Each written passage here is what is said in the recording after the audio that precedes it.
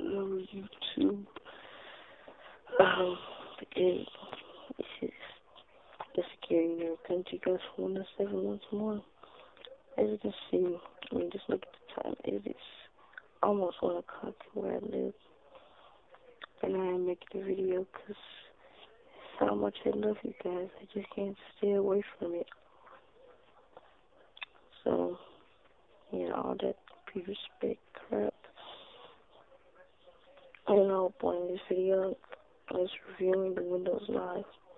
Now first I'm going to show you how to get Windows Live. Live. Oh my god. Windows. Now you, you can't get some XP, you can only get on Vista and um, Windows 7. So I'm sorry XP people. If you want modern day stuff, gotta get a modern day upgrade. Okay so you download it. Well, I already had I already had the file. And downloads. You start it up right there. So it might take maybe 30 minutes if you do them all like I did. Okay, so starting with the email. Windows Live mail. Let's start review. I have my JC Minutes email set for this uh, I signed up for Fox Sports, bowling. I mean, interface is maximizing. Interface looks really nice. It's a lot better Outlook, in my opinion. And I probably would use this over Outlook. I know, Outlook's just ugly. But this is really nice you want it's only bad thing. You want to see a message, you got to do this. You want to maximize this screen right here. What I like. That's all the essentials you need when you're, when you're talking about email, your calendar, your feeds, contacts, all the sync my contacts, text, calendar, mail, and news groups. I don't think I have any of those. No. So to compose how you compose. I don't really, I just got this. that's how you compose. I hate how you have to open a new thing. I wish that you just open in this window right here. So that's the only bad thing on Windows Live Mail. But honestly, don't waste your money on Outlook. Outlook sucks. This is far better than Outlook, and I've used Outlook.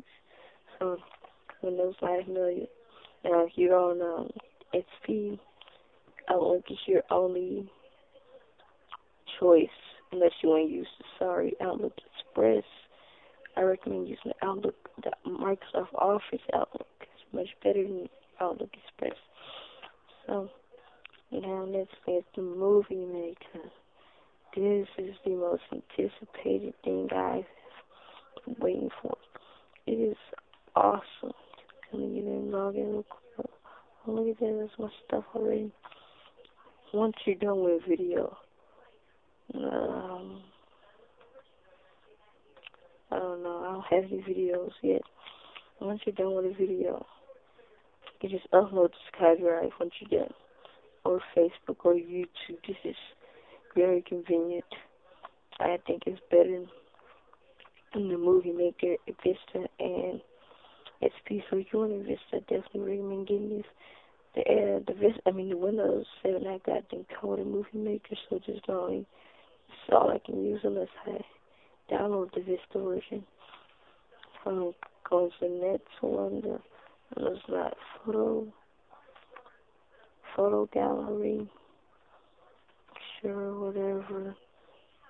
Same thing here. Basically, it's integrating all these social networks with these applications and it's very nice. Say I want to see this heat logo to my SkyDrive. To do that, let's go into my SkyDrive now. That's really cool. I'm not going to do that. That's cool out for you right there.